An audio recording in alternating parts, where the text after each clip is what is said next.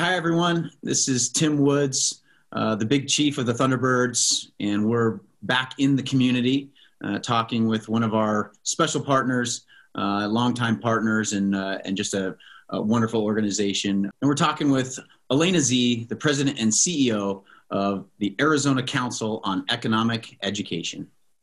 Elena, how's it going? Good, thank you. Nice to see you, Tim. Good. Well, thanks for spending some time with us. You know, let's uh, let's just kind of start out maybe um, with the background on the organization and what it means to the community, and, and maybe kind of get into you know snapshot in time what's going on with ACEE right now. So, Arizona Council on Economic Education, we really believe that every student needs to have the opportunity to uh, grow up and become financially, and economically responsible in work and life. And we have a responsibility to teach them the skills to become that. And how do we make sure that every student gets this opportunity and uh, it's in our uh, education system? So uh, we partner very closely with um, K 12 um, public school teachers to provide the teachers with uh, um, very engaging curriculum, um, teaching strategies, um, and instruction to uh, teach uh, the subject of personal finance and economics at, at, in their classrooms. So, how did you kind of gain a foothold, um, you know, here in the Valley?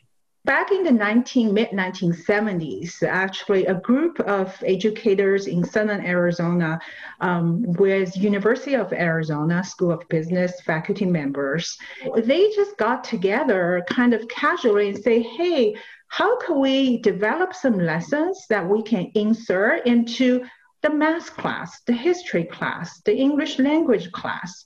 that why are they teaching math? They're also teaching personal finance and economics. And so the curriculum was developed with a lot of input, collaboration with the teachers, and they just started sharing it with more teachers. And through word of mouth, 10 teachers become 20 and 40, and now we have a network of 13,000 teachers who use our services regularly, and we are a statewide organization. Uh, we are also a part of uh, affiliated with the National Council for Economic Education, so sharing best practices with even broader network of educators um, to support economic education. And since then, Arizona has um, um, a requirement now to teach personal finance and economics. Uh, and we have standards from kindergarten level to 12th grade. That's awesome. Yeah. I mean, you know, again, you do such tremendous work and, and we're firm believers in it uh, from the Thunderbirds perspective. And um, you're such great partners. Um, what could the public do just the, the you know, the, the person that's seeing this right now um, do to, to help your cause, to plug in, um, whether it's financial or, you know, any resource or time, um, what does that look like? Well, get involved. Um, uh, number one is uh, is around the advocacy. It, you, you, know that to to make sure that the schools continue to um, provide this uh, personal finance economics education opportunity to the students. Uh, number one is advocacy. Number two is volunteering, uh, roll up sleeves and to, to help.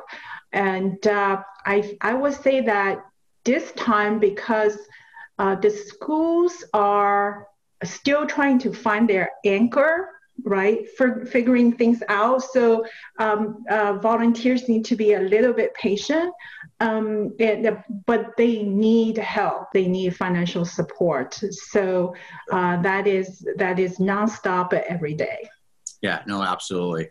Um, well, good. Well, you know, again, I, I just I think this is a, an incredible cause, um, and you know the the the services that you provide, uh, the training and just the education um, is wonderful. I, I, I certainly wish there was uh, you know looking back uh, a program you know like like this that I I, I could have taken you know maybe advantage of and and balanced my checkbook a little better.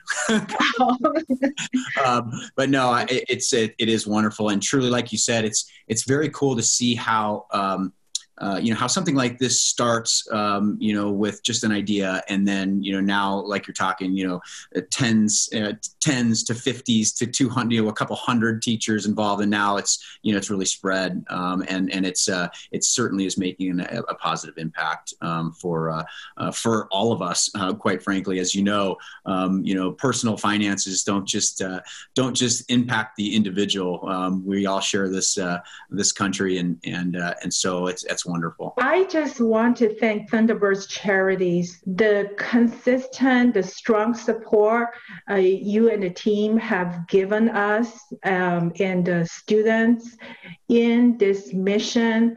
I, I cannot thank you enough on behalf of all of our board of directors. I'll take those thanks and and back to the group and our staff and our board members. Um, and uh, it's it's the only reason we exist. It was really really nice talking to you. Um, and uh, with that, I'll uh, I'll let you go. Great. Thank you so much.